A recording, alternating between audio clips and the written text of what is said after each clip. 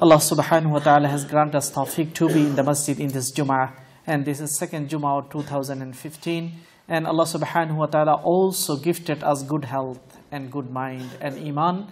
For this ni'mat of Allah subhanahu wa ta'ala, always we should be grateful to Allah and we praise Him and we say Alhamdulillah. Today, we would like to discuss about some points. Our life like a school. Our life is teaching us many things আমাদের জীবনটা হলো একটা বিদ্যালয়ের মতো। আমাদের জীবনের চতুর্দিকে যেই ঘটনাগুলো ঘটনা প্রবাহ ঘটে সেগুলো আমাদেরকে অনেক কিছুই শেখায়। So any incident happen in the world so it has some teachings and there are many things we can learn. So we discussed, for example, recently, as you watch TVs, news, and even in online, that many people died. They were traveling from Indonesia to Singapore in Air Asia.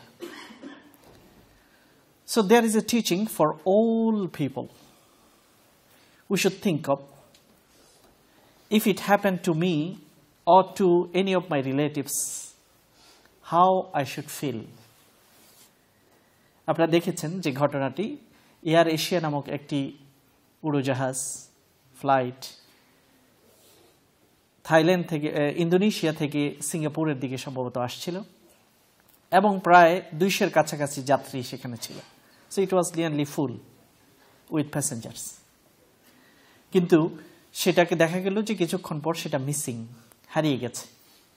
Radar সেটাকে identify করতে পারেনি কোথায় আছে এবং পরবর্তীতে দেখা গেল যে সমুদ্রের তলদেশে সেটাকে পাওয়া গেল so later on the discover under sea the flight and many dead body was discovered So just my intention is that we have to stop here and we, we have to learn some teachings from this incident.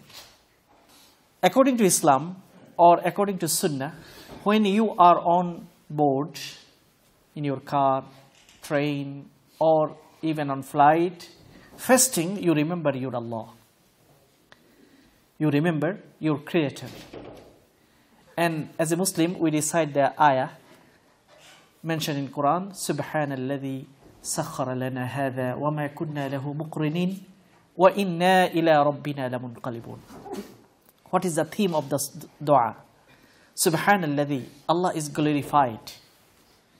Sakhara lana hadha, Allah who made this vehicle or animals under our control. Previously, people used to ride on camel or donkeys or any other kind of animal. But nowadays, they are riding on board flight, train, and many other modern system. So, it is a reminder for us by reciting the ayah, Subhanalladhi sakhara lana, Allah made these things under our control. وَمَا كُنَّا لَهُ مُقْرِنِينَ And we don't have any power to control them. if Allah subhanahu wa ta'ala doesn't control, we can't control. For example, if you think just your car, you are driving, you can control, you can stop, uh, you can speed, you can slow down. So it is under your control. This car is under your control. So you remember, this is not my capacity, this is not, not my power as a human to control this vehicle unless Allah subhanahu wa ta'ala controlled it and Allah subhanahu made it under my control. Sometime if the braking system failed for a minute, for a seconds, what will be the consequences? আপনার গাড়িটা আপনারই কিন্তু braking system আপনি থামাতে চাচ্ছেন থামছে না। এবং সেটা রাস্তার বাইরে গেল এবং বড় বিল্ডিংয়ের সাথে আঘাত করল অথবা অ্যাটাক করল তখন যারা প্যাসেঞ্জার তাদের কি অবস্থা হবে? এবং এটা হয়। মাঝে মাঝে এটা হয় sometime it happen People cannot control, driver cannot control his car. And braking system is failed. Or any other system is failed. Same flight. It is Allah subhanahu wa ta'ala made it under control. We are on the space. We are not on the ground. But flight, on flight, you are on a space. And it is a power of Allah subhanahu wa ta'ala. Allah subhanahu made it easy for human. So as a human, we should not forget. This incident, sometimes we think, oh, this is a power of human, and this is a result and fruit of science. This is a result and fruit of technology. Human can do whatever they want. Yes, but with the power of Allah, with the will of Allah subhanahu wa ta'ala. Otherwise, this qualified crew and those who are on flight, they are qualified. Still, they did not control this. And it was missing, it was lost, and later on died. এই জন্য প্রথম যে জিনিসটা আমাদেরকে আল্লাহ তালা মাঝে মাঝে এই কয়েকটা ঘটনা প্রতি সময় হয় না প্রতিদিন হয় না মাঝে মাঝে হয় এই কথা মানুষকে স্মরণ করানোর জন্যই আল্লাহ তালা করেন দেখো যে তুমি প্রথমে ফ্লাইটে বসে আনন্দিত হও এনজয়মেন্টের দিকে তোমার চিনতে যায় অর এন্টারটেইনমেন্টের দিকে চিন্তা যায়, কিন্তু তোমার একজন মানুষ হিসেবে, বিশ্বাস হিসেবে প্রথম চিন্তা আসা দরকার যে আল্লাহ আমার জন্য কত সহজ করে দিয়েছেন, যেটা আমার নিয়ন্ত্রণে করে দিয়েছেন। আকাশের শূন্য পথে সেটা দ্রুত ব্যাগে হাজার হাজার মাইল চলে যাচ্ছে অল্প কয়েক ঘন্টায়। আল্লাহ আমার জন্য সহজ করেছেন এবং আল্লাহর শক্তি সারা এটা আমার পক্ষে সম্ভব নয়। এই বিশ্বাসকে নতুন করে জাগ্রত করা, এটা হচ্ছে আমাদের কাজ। So this incident is a reminder that all the passenger always they should remember Allah subhanahu wa ta'ala while they are in their traveling on car, train or flight anywhere. They should remember and recite the ayah. They should not forget. Sometimes it happen. Many Muslim even even pious people we see that are they are on board. They are busy with entertainment provided on the flights modern systems. They are busy with watching dramas, movies, or other entertainment, or listening to the music. Remember, it happened, this kind of incident happened in your flight, and you died after this incident, so your death was with bad amal, bad action. But if you remember Allah subhanahu wa ta'ala during your flight and traveling, and Prophet ﷺ said that traveler's dua is acceptable to Allah subhanahu wa ta'ala.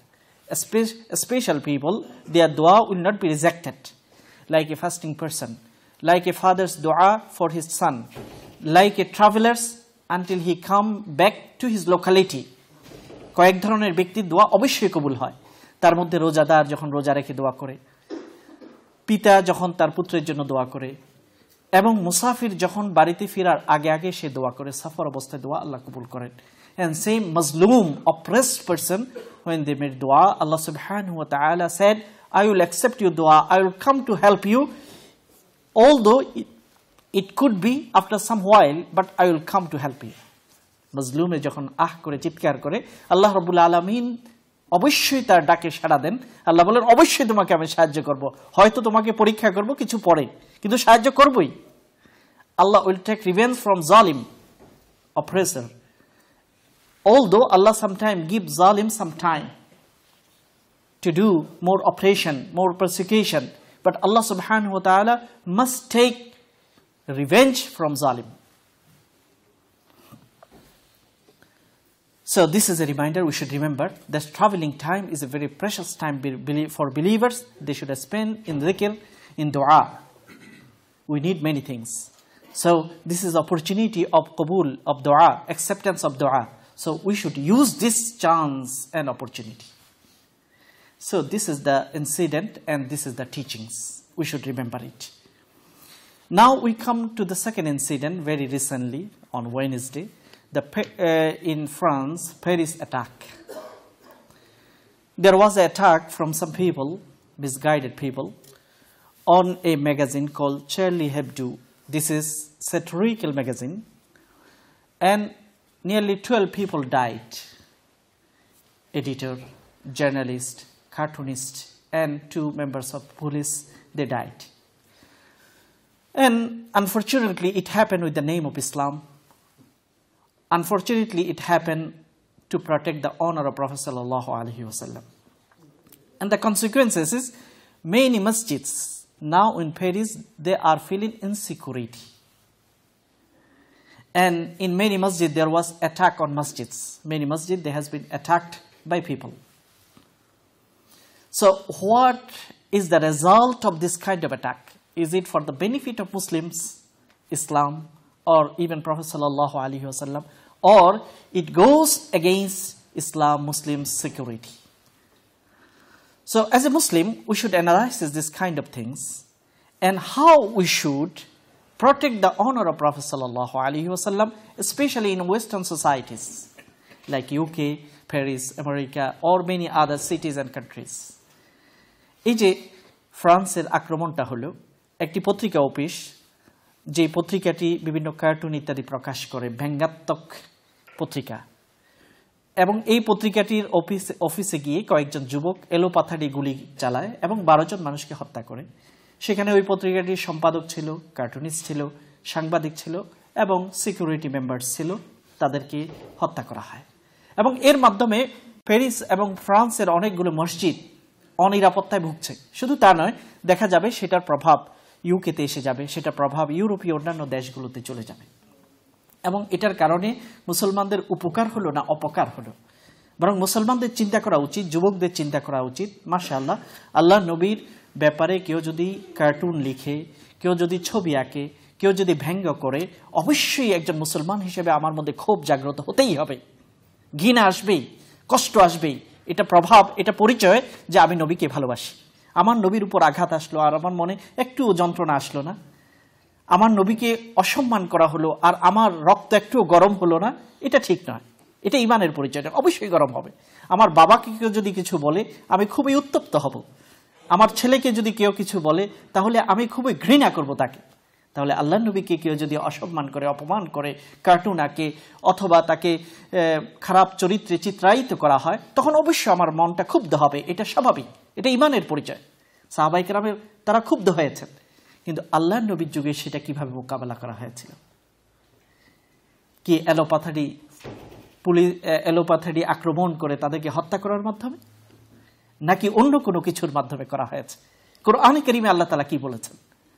So main focus as a Muslim we should be aware that in time of prophet আল্লাহ আলী আসসালাম many people they compose many poetry against prophet আল্লাহ আলী আসসালাম They said many words against Prophet wasallam in Makkah, even in Medina.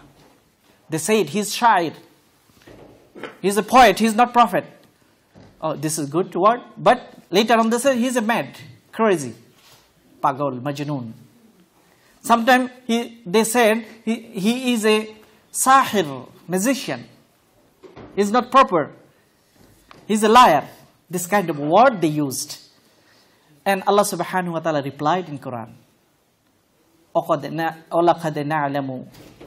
I know, O my messenger, that because of their word, because of their swearing, your heart become very upset.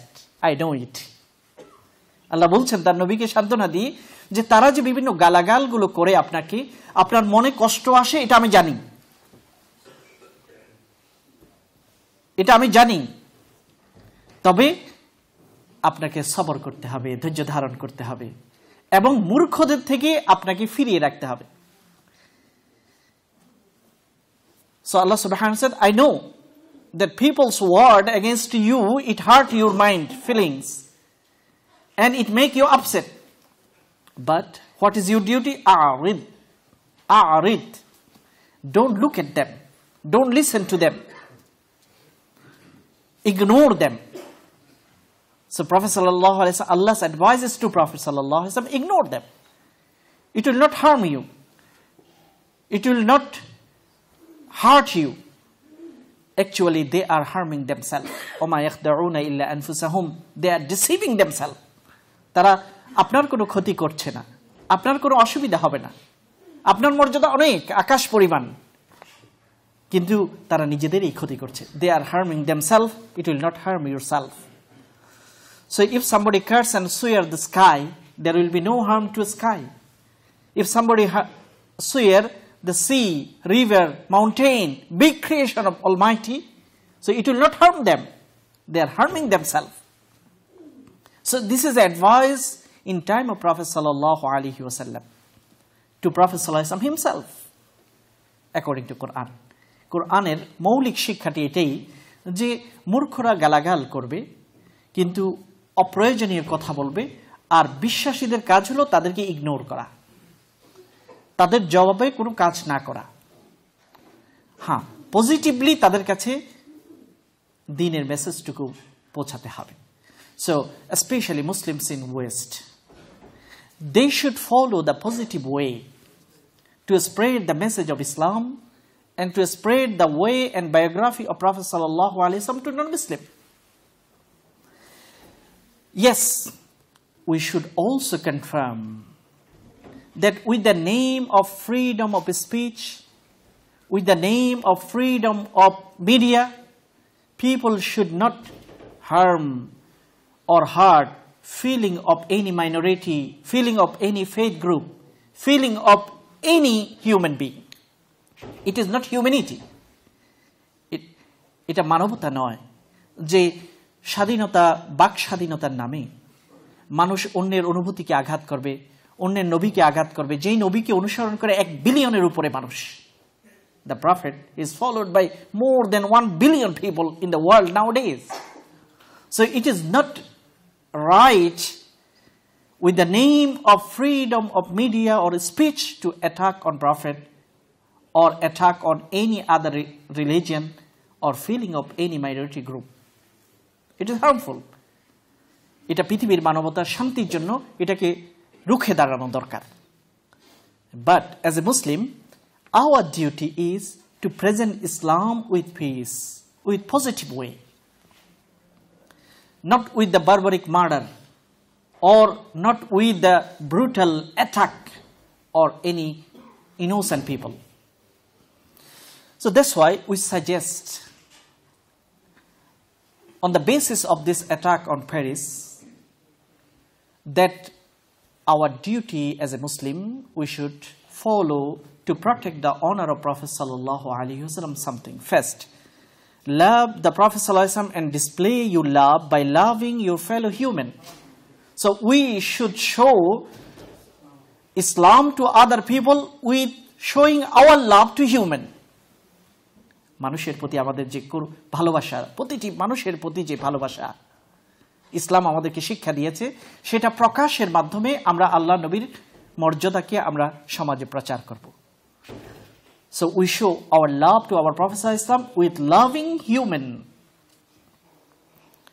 and also follow the prophet and demonstrate your loyalty to the prophet by showing compassion, mercy to all human. প্রত্যেক মানুষের প্রতি আমাদের ভালোবাসাটা প্রকাশের মাধ্যমে এবং করুণা, দয়া, সাহায্য ইত্যাদি প্রকাশের মাধ্যমে আল্লাহ নবীর মর্যাদাকে আমরা সমাজের মধ্যে তুলে ধরতে পারি।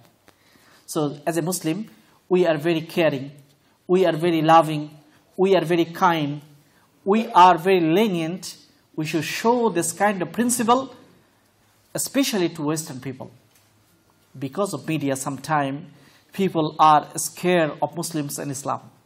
And they think all Muslims are terrorists, although it is not. We should prove it is wrong by showing our love, our mercy, our positive contribution to the societies we live in we live, for example, Muslims in South End, they live in South End. So we should contribute to change South End or our community and to contribute positively to this community that we are Muslims.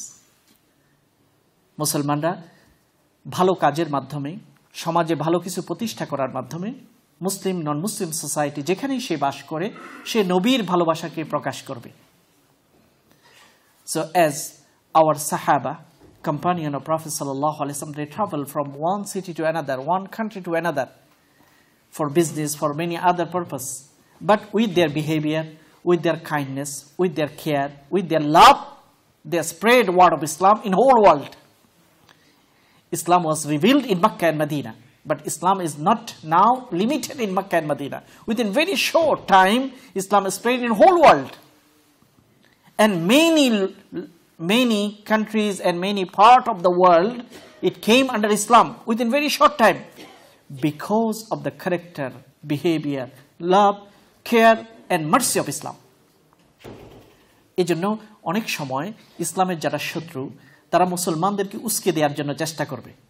হতে পারে এর পিছনেও অমুসলিম কারও কোনো শক্তি, ঘৃণিত কালো কোনো শক্তির হাত আছে। তারা এইসব করার মাধ্যমে মুসলমানদের যে উত্থান, অনেক মসজিদ হচ্ছে ওইটাকে রুখে দেওয়ার, একটা পথ খুলে দেওয়া। মুসলমানদেরকে ইনসিকিউরিটির মধ্যে, অনিরাপত্তার মধ্যে ফেলে দেওয়ার জন্য মুসলমান নামে কাউকে উৎসাহিত করে এই ধরনের কাজ করাতে পারে। মুসলমানদেরকে ব্যাপারে সতর্ক থাকতে হবে sometime non Muslim power may be encourage some young people misguide them to do this kind of barbaric action And the purpose is to stop the spread of Islam, stop building up many other masjids and making Muslims in insecurity. Maybe it could be their target. So Muslims should not be, especially young people, they should not be misguided. মুসলমানদেরকে এই ব্যাপারে খুব সতর্ক থাকতে হবে। ইসলামের যেন কোনো বদনাম না হয় এবং ইসলামের বিরুদ্ধে এইসব কাজগুলোকে উত্থাপন করে ইসলামের বিরুদ্ধে যেন ভয় ইউরোপীয় সমাজে ছড়াতে না পারে, এই জন্য মুসলমানদেরকে সতর্ক হতে হবে। সো ইনশাআল্লাহ our action is our way is to do positive contribution to the society to the humanity and to show our love mercy and kindness and care towards every human being. This should be the target of Muslims.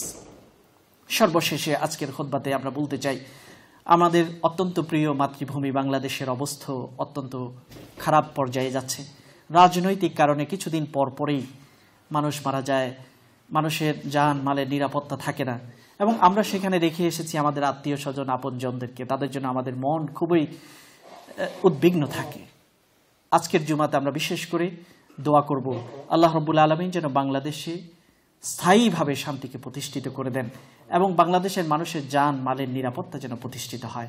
বিশেষত যারা রাজনীতিবিদ আছেন, যারা এসব কাজগুলো ক্ষমতায় যাওয়ার জন্য অথবা ক্ষমতাকে আঁকটে ধরার জন্য মানুষকে ঢাল হিসেবে ব্যবহার করেন, মানুষের যান, মালগুলোকে ঢাল হিসেবে ব্যবহার করেন এবং লাজ, লজ্জাকে বাদ দিয়ে অপ্রয়োজনীয় কথাবার্তার মাধ্যমে সমাজে আগুন জ্বালান। আল্লাহ রবুল আলমিন তাদেরকে যেন সঠিক পথে হেদায়ত দান করেন। এবং আগামী প্রজন্মের জন্য একটা নিরাপদ বাংলাদেশ, সম্মানজনক একটি বাংলাদেশ, এবং সারা পৃথিবীর মধ্যে মাথা উঁচু করে দাঁড়ানো একটি জাতি হিসেবে যেন এই জাতিকে কবুল করেন।